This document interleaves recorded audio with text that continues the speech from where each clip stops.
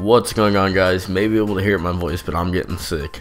Anyways guys, so that's not important now. Today I got a god mode glitch that is amazing.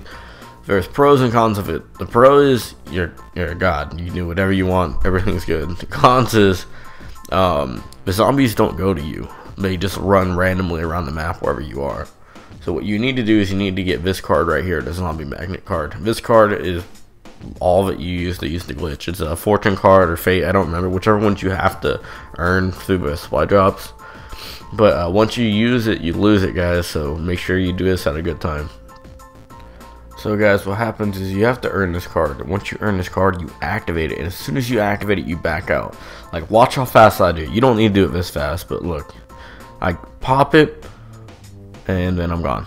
Like I did it really fast. You guys don't have to do that fast. So right now my friend is in that game by himself.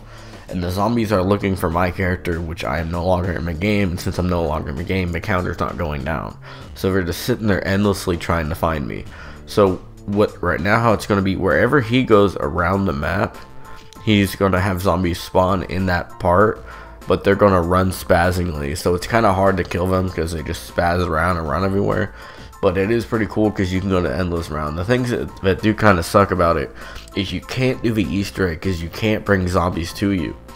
Because you have to bring zombies to you to do the traps, to get the guns, and do all that. And it's really, really hard to do. You can do it, but it's almost impossible to get the brutes to knock out the teeth.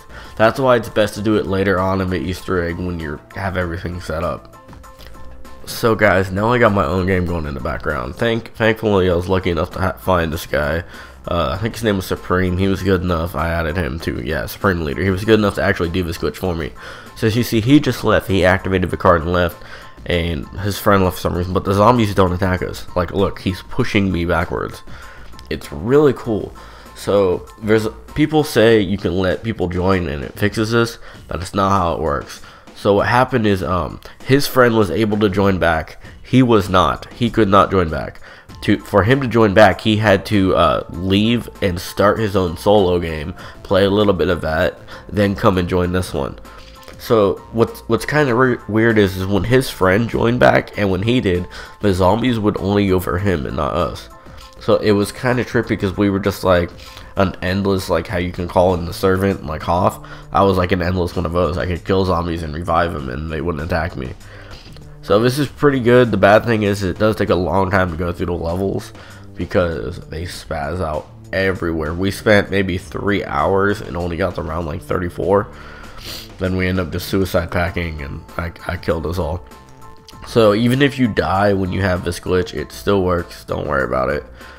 But um, if you if you die, it works. If you bleed out, we don't know. We didn't test it. But say if you go into a trap and you get killed, you'll be fine. So the big guys don't chase you, the clowns don't chase you, and then the zombies don't chase you, obviously. It's actually a really cool glitch, guys. Uh, use it before it's gone, and I'll leave a comment or something in the description saying when it's patched. Alright, guys, I'm out.